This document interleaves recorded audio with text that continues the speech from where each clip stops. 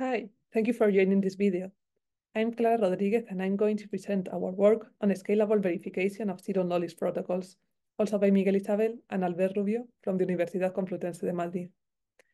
First, I want to introduce the problem that we address in our work. Zero-knowledge protocols are a kind of cryptographic protocols where there are two different parties, the prover and the verifier.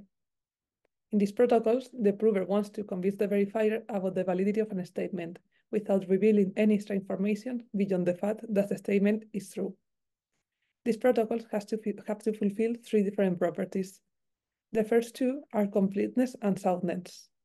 Completeness requ requires that in case the, the prover is being honest, then he has to be able to convince the verifier. Soundness means that in case he's lying, the verifier is going to be able to detect this. The third extra property and the one that characterizes these protocols is zero knowledge. This property states that from all this process, the only thing that the verifier is going to learn is that the statement is true. Most zero-knowledge protocols model the statements being verified as an arithmetic circuit satisfiability problem. In this case, the statement that the prover is going to convince the verifier is that he knows some private inputs and has correctly executed a circuit. In order to generate the product, in order to generate the proof, what the prover does is first take the public and private inputs and execute the circuit, generating a proof. Then he gives this proof to the verifier, along with the public inputs and the output, and the verifier is able to detect if the prover knows the private inputs and has correctly executed the circuit. But the zero knowledge comes from the fact that from all this process, the verifier is not going to learn anything about the private inputs. The circuits that are used in order to model this statement are relatively simple. They can only contain two kinds of gates, multiplication gates and addition gates. In order to represent these circuits, the zero-knowledge protocols usually represent them using constraint systems. But this constraint system has some, have some requirements. They can only use quadratic constraints in order to model the circuits. In this case, we are using two intermediate signals, intermediate signal 1 and intermediate signal 2, in order to represent the intermediate values that may appear in the circuit. Other, po other possible representations, as the one that we have here, are not valid because it uses a non-quadratic constraint that it is not allowed in these um, zero-knowledge protocols. In our work, uh, the problem that we focus is the verification of these constraint systems. One of the most typical bugs in zero-knowledge protocols is to not include all the necessary constraints in order to correctly model the statement that is being verified. These bugs are known as under-constraint bugs, and they are typical of languages as Circom, Halo 2, or Noir, where the user can explicitly define which are the constraints that are going to be part of the constraint system. Under-constraint bugs can be critical as a malicious prover can exploit these vulnerabilities in order to generate a verifiable proof that it is not correctly modeling the statement. Nowadays, there are not many tools for verifying these constraint systems. On one hand, we have tools like the FLAG-INSPECT of the Circom compiler, ZKAP, and Circomspect that are based on performing syntactic checks. These tools look for typical patterns that may indicate the presence of another constraint bug but are not able to detect more complex bugs as long as they don't fit these typical patterns. On the other hand, we have tools like Picus that perform semantic check. This tool is able to detect more complex bugs, but presents some scalability issues and cannot handle huge uh, circuits Moreover, I would like to point out that existing tools for the automatic verifications of this constraint system cannot handle specifications given in terms of prep conditions and post conditions.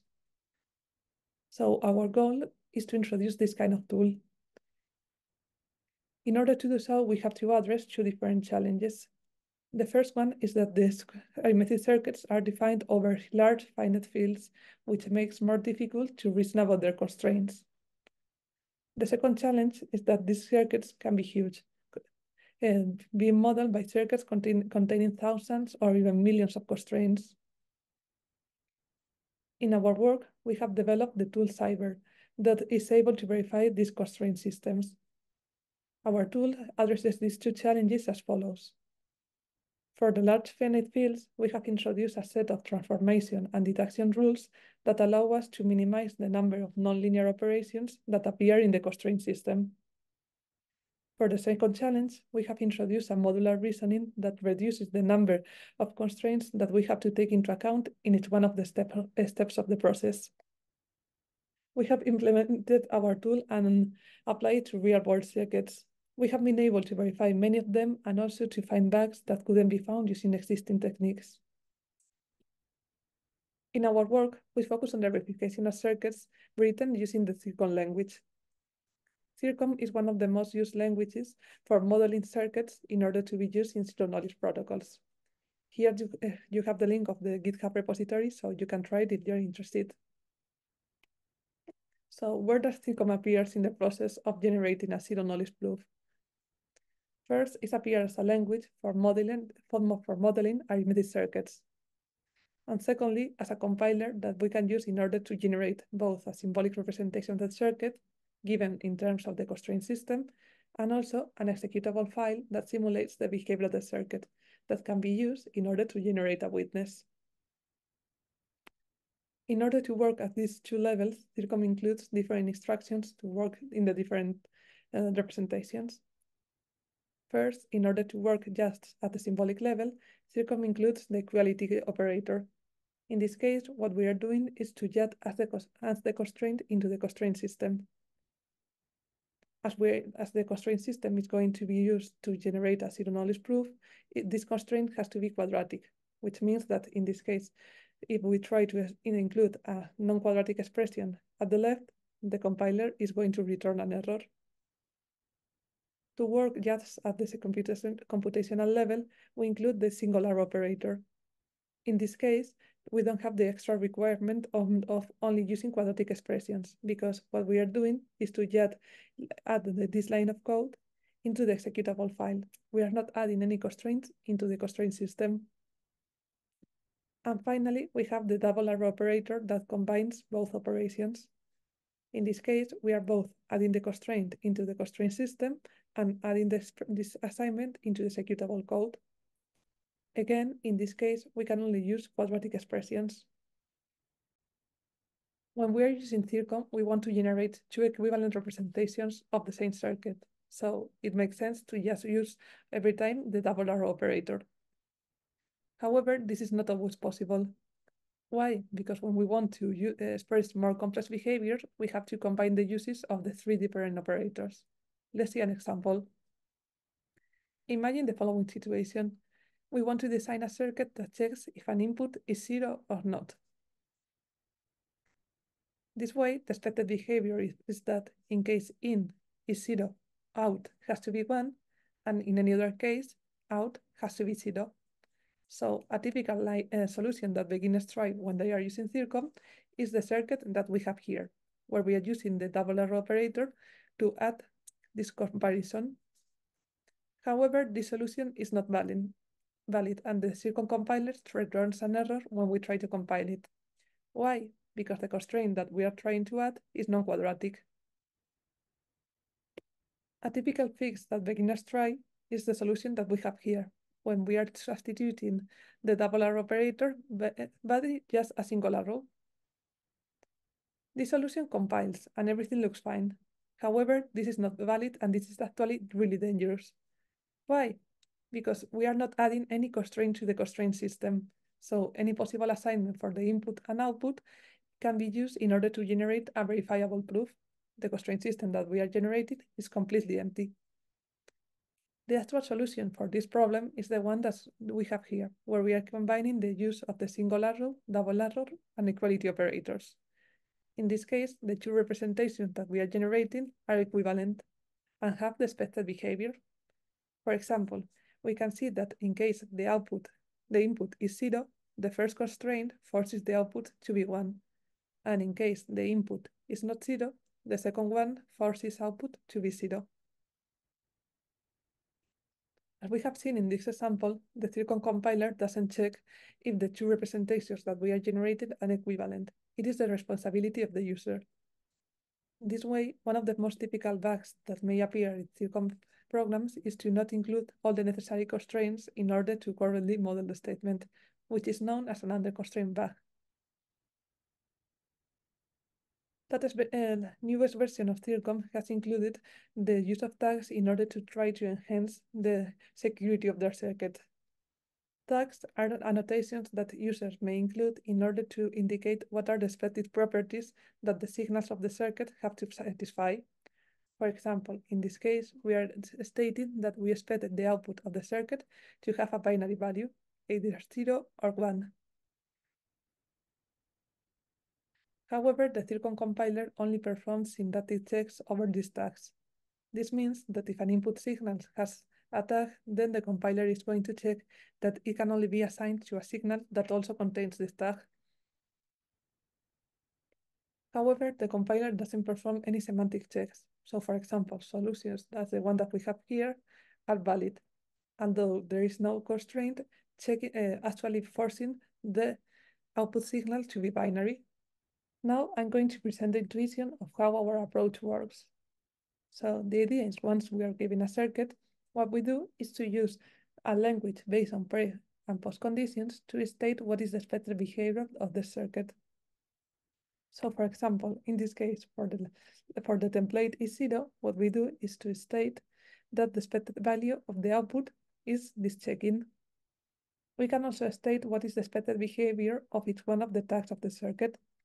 Here we're indicating that any signal that has the tag binary is expected to have a value between 0 and 1. Once we have this specification, we try to model to verify it. In order to do that, we consider the problem as a satisfiability query.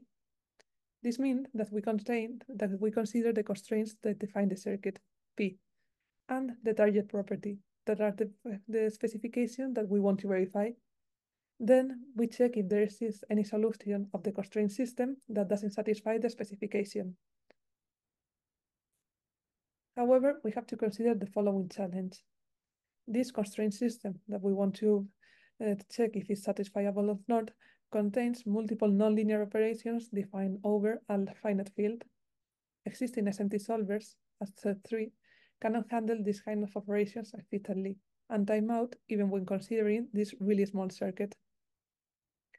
So in order to enhance the performance of existing SMT solvers, we have introduced a set of transformation and deduction rules that allow us to minimize the number of these operations. These are some of the rules that we use.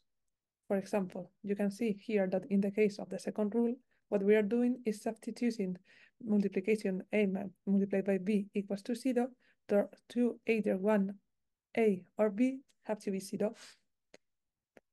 In the case of the first rule, what we're doing is substitute the modulo operations by this expression, where we, are, where we are using the variable key to substitute the modulo operation. In this case, we are also computing some bounds for the expression in order to limit the values of this, the, that the free variable key can take, which can enhance the performance of the solvers, especially if we can find some tight bounds from the, for the expression. In this case, after applying these rules, we obtain this equivalent constraint system, where the, the constraints are relatively more simple. For example, we have substituted the multiplication operation by this one. Existing SMT solvers can solve this system almost immediately and return the output unsat. This means that the circuit satisfies the specification. In order to handle the second challenge, that it is the huge size of the constraint systems, we have, we have taken advantage of the hierarchical structure in which circuits are defined in order to develop a modular approach.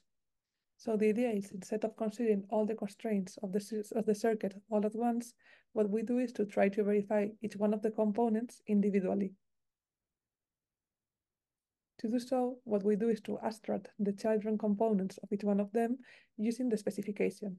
So the idea is, for example, in case we are considering this more complex circuit, instead of adding the constraint of the subcomponents is zero, what we do is substitute this children constraint system by the specification of this uh, subcomponent and just add this expression.